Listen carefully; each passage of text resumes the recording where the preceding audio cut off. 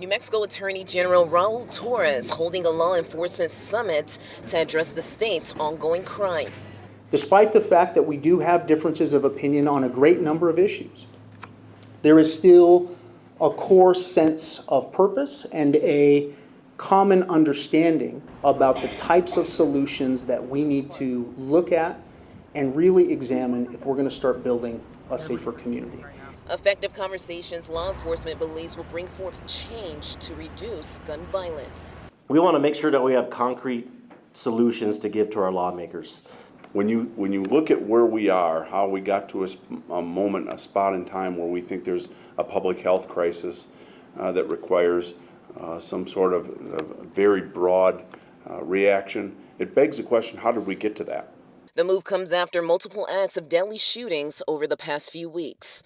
The latest, the 11 year old Froylan Villegas. The governor's 30 day gun ban sparking outrage, struck down by a federal judge for now. No constitutional right, in my view, including my oath, is intended to be absolute. Bernalillo County Sheriff John Allen pushing for crime bills to be revisited at next year's session.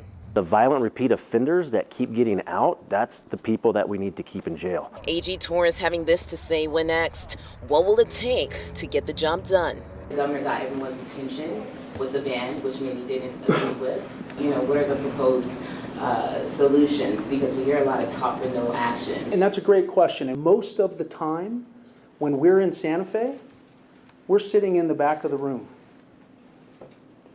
And we're often being talked about, but we're not being asked what we think should be done.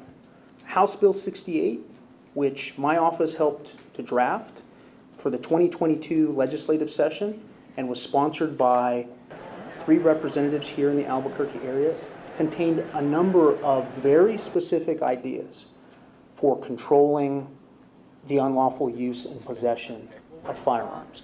Some of the elements of that bill made it into law, but a great many of the other ideas were simply cast aside.